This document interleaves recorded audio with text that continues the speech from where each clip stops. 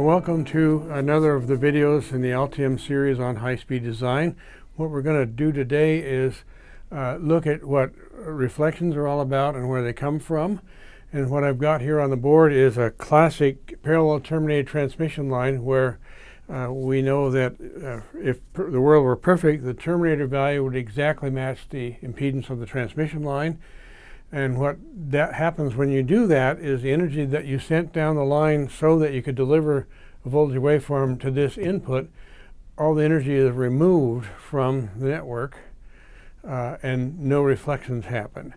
And that condition is the red line I have here where I'm observing the waveform at this output. As you can see, nothing comes back the other way. And if uh, the second case here is if the terminator value is higher than line impedance, uh, it's the green waveform. And what you can see is we, we've got an energy that did show up back here. Uh, and it's going in the same direction as the incident waveform. And so the label for that is overshoot. It adds to the original waveform value. And historically, that was the one we worried about because with 5 volt logic, it was not difficult to get it overshoot large enough that it would violate the input voltage rating of the circuits and cause failures. Well, the other condition I have is if the terminator value is less than the line impedance, we again get a reflection, but you notice it's the other direction. It's a, it's a takeaway. We call that undershoot. Uh, and when we had 5 volt logic, no one ever cared about that because we had so much noise margin that we just, who, who worries?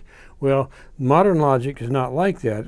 Uh, it's not uncommon to have signal swings that are only 1 volt, so the amount of noise margin is not large, and the chances that we'll get enough overshoot to cause a problem is pretty, pretty difficult to have happen. So modern logic undershoot is the, the problem that we have to avoid and I've got an equation right here, it might be hard to read, but it, it allows you to calculate how much reflection you'll get based on the degree of mismatch.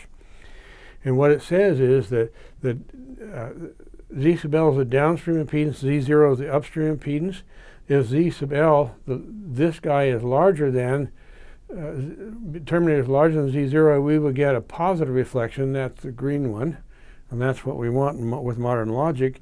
And the opposite, when z sub L is less than, or z sub t is less than z0, we get undershoot, which we don't want. Now, I, I illustrated this at, uh, at the end of a transmission line, but what I show you here could occur if the impedance changed in the middle. Uh, for any reason, we, get, we would get this kind of reflection off of that transition. And this is the reason that we work hard to match impedances is, with most modern logic, it's so that we don't have undershoot. Well, in the RF world, we do it for a different reason, and that is we're, we're trying to design the world's very best radio.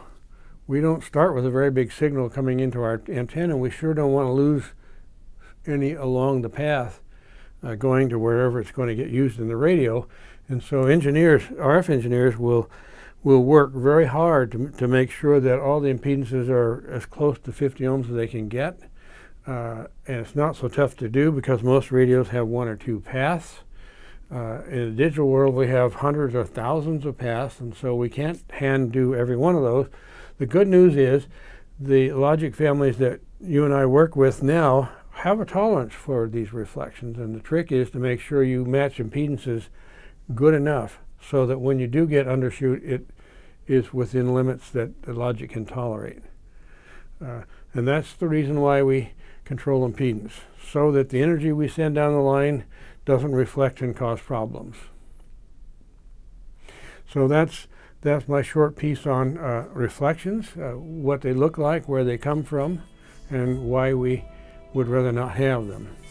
So this is, uh, again, Lee Ritchey, Speeding Edge. I hope this video helps you with why we're asking for controlled impedance when we put that requirement on a board design.